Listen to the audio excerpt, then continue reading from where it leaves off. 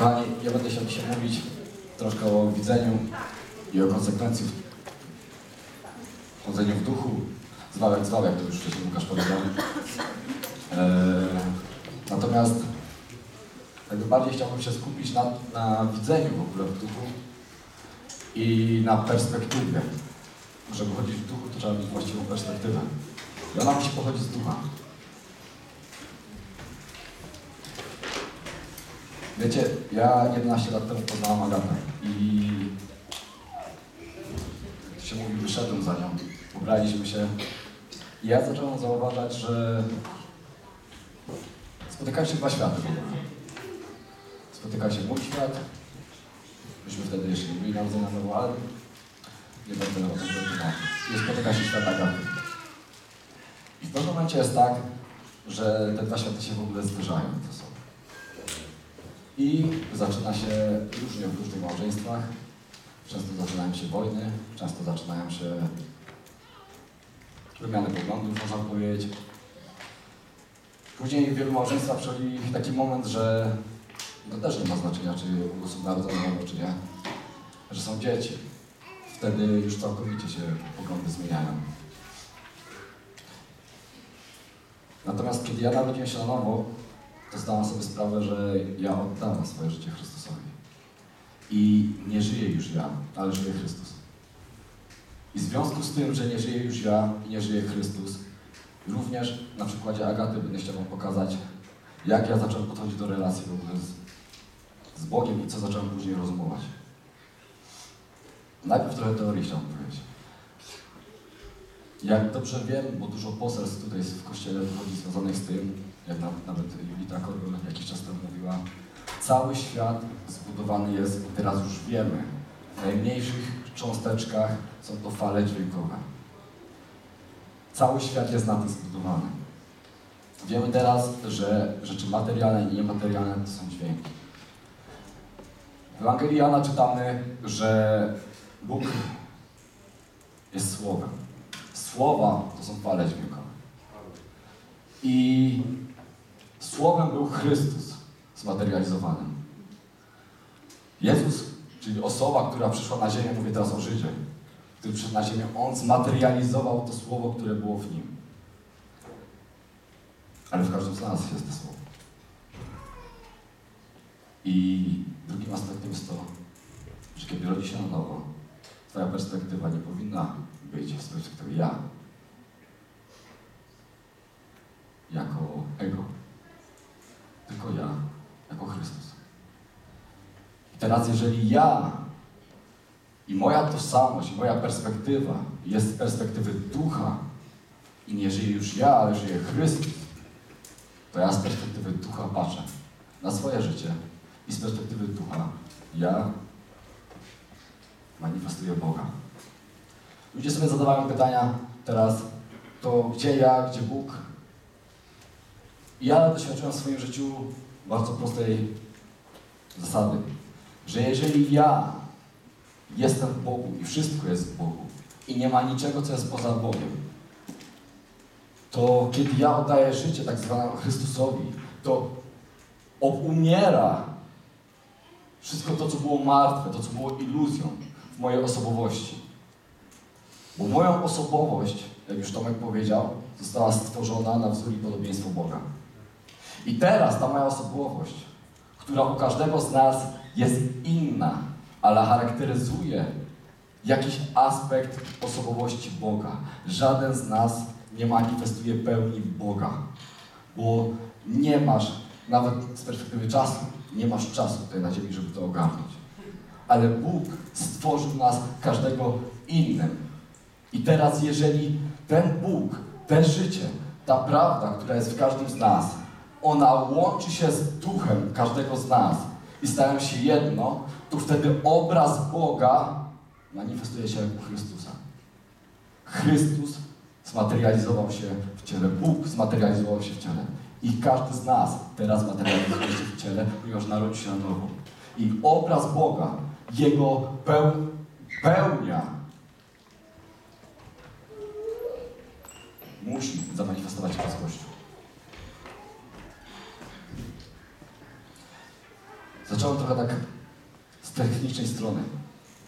Ale to, co mówił Łukasz też, w związku z tym, że Twoja tożsamość jest w Bogu, w związku z tym, że Ty nie masz perspektywy innej, jak to, że jesteś Bogiem tutaj na ziemi, jesteś z Nim zjednoczony i to jest Twoja tożsamość, to ja w swoim życiu nie mam już dylematów. Ja nie zastanawiam się, czy coś dobrze robię, czy coś źle robię.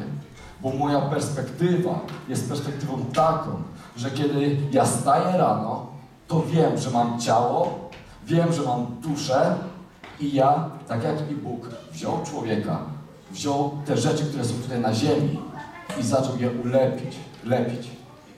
Ja tworzę tutaj na ziemi. Ja kształtuję tą codzienność, która jest tutaj na ziemi. Biorę swoje ciało i je ugniatam, kształtuję. Chodzę na siłownię, wstaję rano, robię różne rzeczy w swoim życiu. Mam do kształtowania tą psychikę, która tutaj jest. Nie mówimy o sercu, ale o psychice. Kształtuję ją, które tutaj, y, tą, którą mam. Ta, która jest, jest i doświadcza tego czasu, który jest tutaj na ziemi. Ale Bóg, tak jak i Twój duch, jest poza czasem. Jest poza czasem. I te rzeczy, które my mamy tutaj na ziemi, one są osadzone w czasie. I my mamy jakiś odstęp czasu tutaj na ziemi, żeby poprzez te duchy nasze, które są poza czasem, które były w niebie i będą w niebie, one są w niebie teraz, tylko chcę coś pokazać. Mamy czas tutaj coś do zrobienia na ziemi. I rozeznawanie nasze w duchu jest z perspektywy fundamentu prawdy. Ja inaczej nie podchodzę do swojego życia, jak w ogóle z perspektywy spaczenia i, i w ogóle wychodzę w ogóle już z fundamentu prawdy. Jeżeli ktoś mi powie, że tak nie jest, już tak jest. Jeżeli tak w mojej głowie nie grało do tej pory. Bo to jest tylko stryk, bo być może moja dusza czegoś nie czaiła.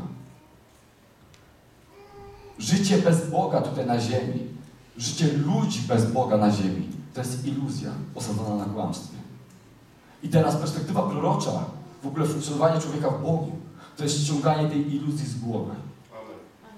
Bo my żyjemy w prawdzie, bo żyjemy w Bogu, a Bóg jest prawdą i poza Bogiem nie ma prawdy. Jeżeli nie ma poza Bogiem prawdy, to wszystko inne jest kłamstwem i iluzją. Więc nie ma to mocy ani wartości, żeby być w naszym życiu. Więc jeżeli ja idę na ewangelizację, tak? I wszelka władza jest nam ku dobremu, tak? To jeżeli przychodzi policja i chce nam przeszkadzać w tej, w tej ewangelizacji, no to albo ja nie jestem, w, ja nie robię nic dobrego, albo policja nie ma władzy w tym momencie. Amen. Jeżeli ona nie ma władzy, to mnie nie interesuje, co on do mnie mówi, ponieważ ja teraz generuję w swojej psychice kroki, które dyskwalifikują go, bo on nie ma władzy.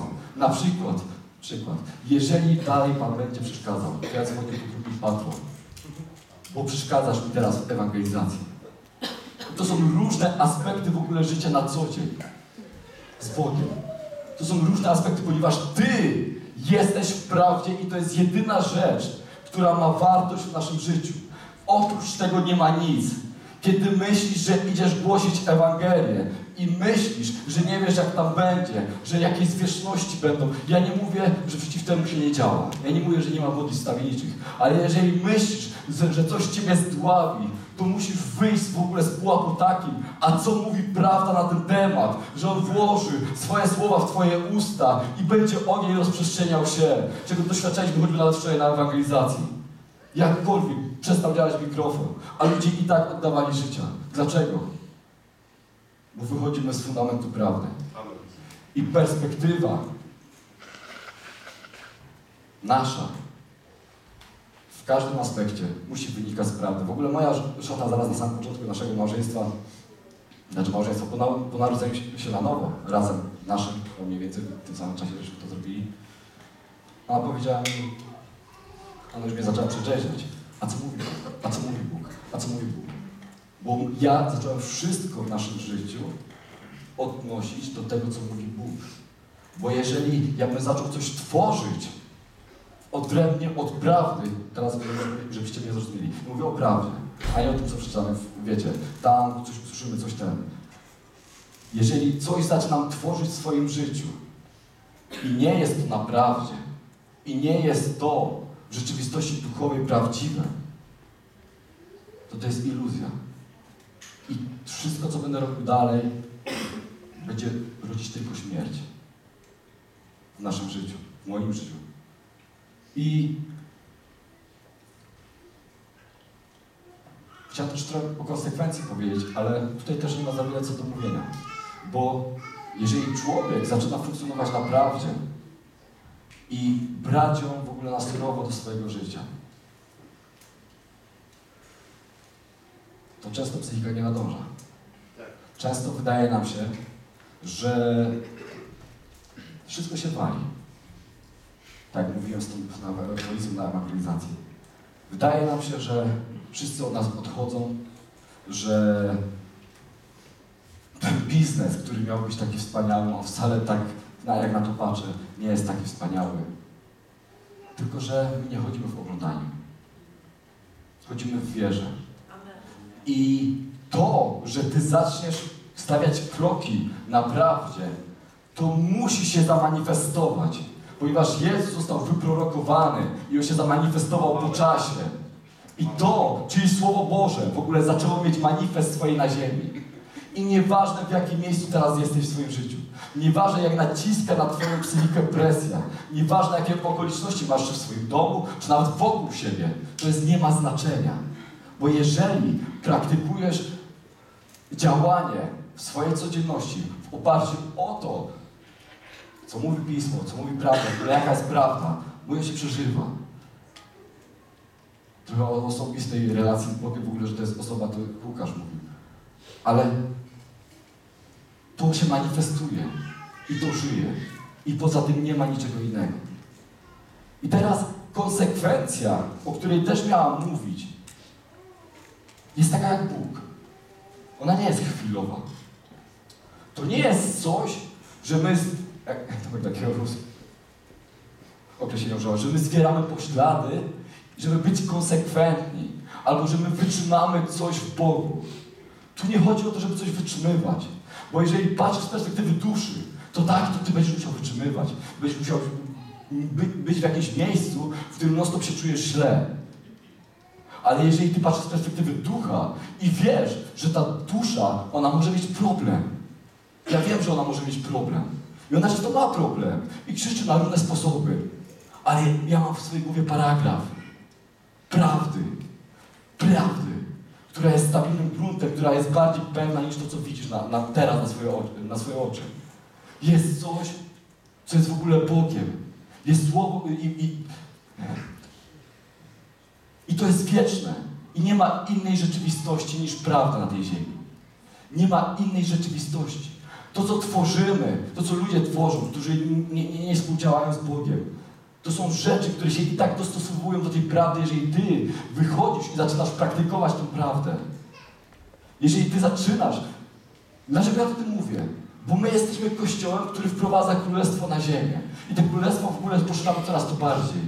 I funkcjonując na co dzień w prawdzie, funkcjonując na charakterze Boga, taki jakim On jest, to będzie poszerzało nasz wpływ, to będzie poszerzało w ogóle manifest nieba na ziemi. No też, jak to by nieraz mówi, jak w niebie, taki na ziemi, tak? Jak w niebie, taki na ziemi. No ale czym jest niebo w ogóle? Rzeczywistością Bożą w ogóle.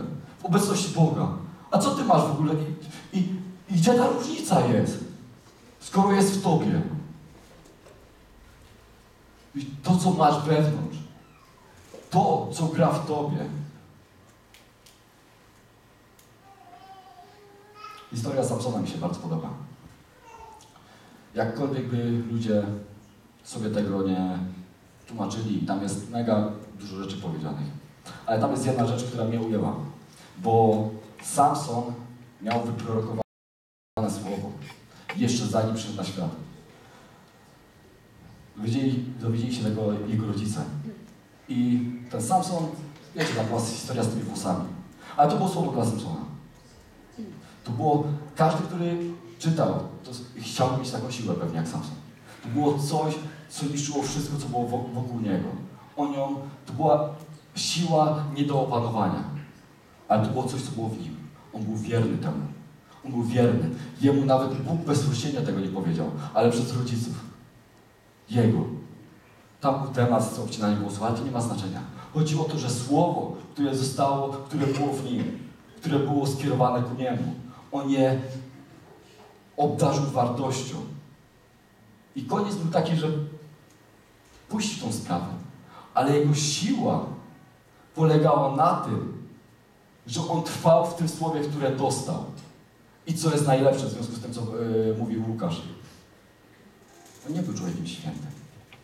Z perspektywy patrzenia działania na co dzień. Go to nie interesowało. Ale został uznany za męża Bożego.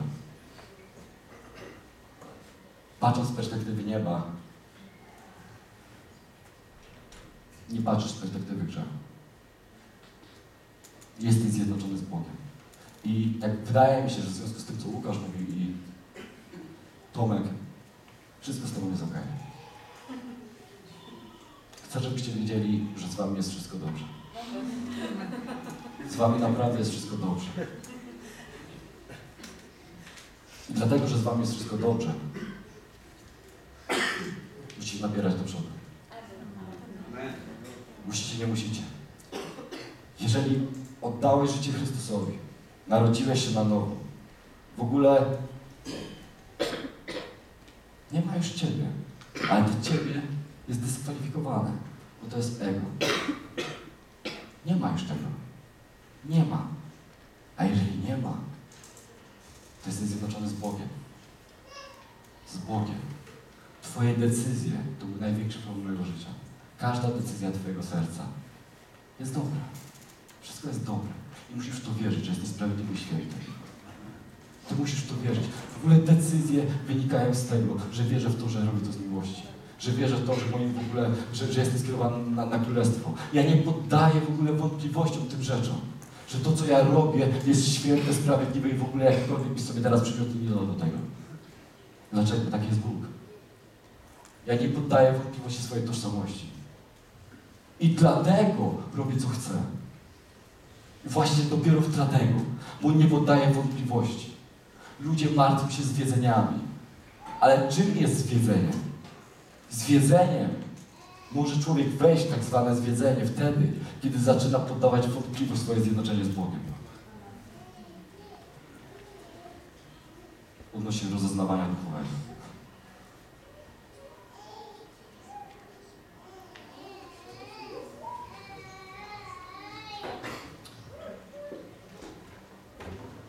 Liczycie z Bogiem to jest... Bóg jest poza czasem. Ty też jesteś stały. Ważne jest, żeby perspektywa każdego z nas wynikała z ducha, nie z duszy. Mógłbym teraz mówić o, o tym, co w moim życiu już teraz ma miejsce. Większość z Was mnie zna. My z żoną w ogóle na różnych frontach działamy, bo to jest z perspektywy fundacji i tam jest kilka frontów. I to z perspektywy przybytku też, tam jest kilka frontów. Ale to nie ma znaczenia. To nie ma znaczenia, bo, bo jestem tu na ziemi, jak kształtuje królestwo. Jezus mówi, szukajcie królestwa, wszystko nie będę wam dodane. Z tej perspektywy, to wszystko, za cokolwiek się wezmę, powiedzie mi się, będzie błogosławione. I teraz jeszcze jedna rzecz związana, która jest z tym, że czy ja dobrze mówię, czy ja dobrze myślę, czy ja nie będę zwiedzony. Ty, jeżeli robisz, tak jak Łukasz powiedział, zgodnie ze swoim przekonaniem, bo kto nie robi, tak grzeszy, to ty nie jesteś w stanie wypaść swoich butów, bo ty, nie, ty jeżeli wychodzisz z tej tożsamości, nie wygenerujesz niczego innego. Rób co chcesz, a to jest, a to będzie tak kompatybilne z Twoją osobowością, takim jak Cię stworzył. Ty nie jesteś w stanie wygenerować niczego innego niż to, jak Cię Bóg stworzył. I ten obraz Boga, jakim Cię stworzył, będzie miał swoje materialne miejsce tutaj na ziemi. Z tym was się